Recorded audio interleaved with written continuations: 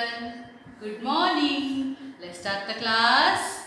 We will revise once again today patterns. Which is the first pattern? Standing line.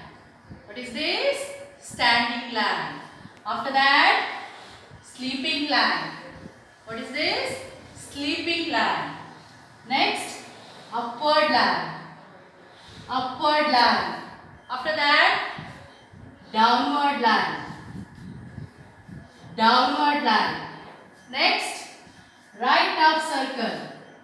Right half circle. Next, left half circle. Left half circle. After that, upward U. What is this? Upward U. Next, downward U. Downward U. After that, circle.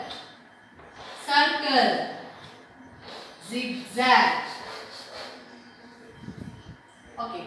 Now we will learn today letter A. How to write? A. Upward line. Can you see your upward line? Upward line. Downward line. Can you see your downward line? Downward line and sleeping line. Sleeping line. Okay, now A for apple. A for apple. A sounds a. A sounds a. A apple. Okay, now next letter B. B how to write?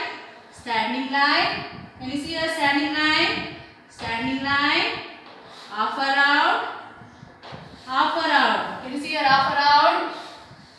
Left half, left half circle. So, half circle and half circle. Standing line, half circle, half circle. So, B for ball. I will draw a ball. Ball.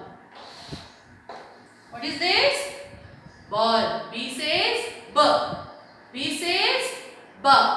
B, B, ball.